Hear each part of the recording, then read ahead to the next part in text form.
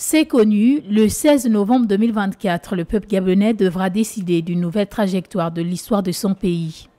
Le vote du oui ou du non devra définitivement trancher sur la révision de la constitution gabonaise. Les mécanismes sont déjà mis en place pour plus de sensibilisation et d'éducation civique sur comment informer les citoyens sur l'importance du référendum, leurs droits et les enjeux.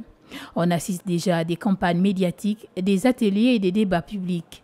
Lundi 21 octobre 2024, le nouveau format du projet de loi de la Constitution a été mis à disposition du grand public. Celui-ci est composé de 43 pages.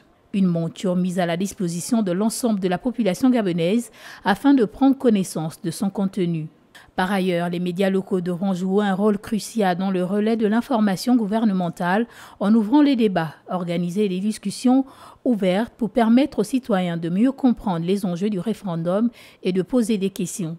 Ces mesures permettront bien entendu à renforcer la participation citoyenne et garantir la transparence, élément clé pour la légitimité du processus démocratique dans notre pays.